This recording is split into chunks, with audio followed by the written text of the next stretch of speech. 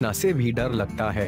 अक्सर लोग अपने आसपास अजीब सी खुशबू या फिर अजीब तरह की शक्ति का आभास करते हैं, लेकिन उतनी ही जल्दी उसे नजरअंदाज भी कर देते हैं। इसी शक्ति को इग्नोर करने की एक कपल को ऐसी सजा भुगतनी पड़ी जिसके बारे में सोचकर उनका मन आज भी सिहर उठता है। पैरानॉर्मल एक्टिविटी एक सपर्क शोन और रिबैक पामर के मुताबिक, उन्हें हाल ही में एक ऐसी घटना से जूझना पड़ा जिससे निजात पाना उनके लिए किसी सपने से कम नहीं था। रिबेकन ने बताया कि कब मरे हुए बच्चे की आत्मा ने उसके शरीर पर कब्जा कर लिया था, उसे बिल्कुल पता नहीं चला।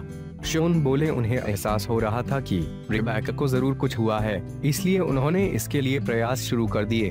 बाद में कुछ ऐसा हुआ, जानकर होश उड़ जाएँगे। इस घटना से छुटकारा पा चुकी रिबैक का कहना है कि जैसे ही वो कमरे में आई तो उन्हें कुछ स्मेल लगी।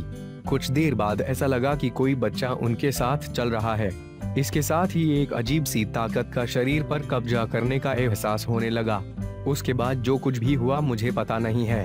वीडियो में आप देखेंगे कि मेरे शरीर पर आत्मा का कब्जा है, जो बार बार यही कह रही है, मम्मी, तुम कहा हो? शोन जैसे ही मेरे पास आए तो किसी शक्ति ने उन्हें कोसों दूर फेंक दिया।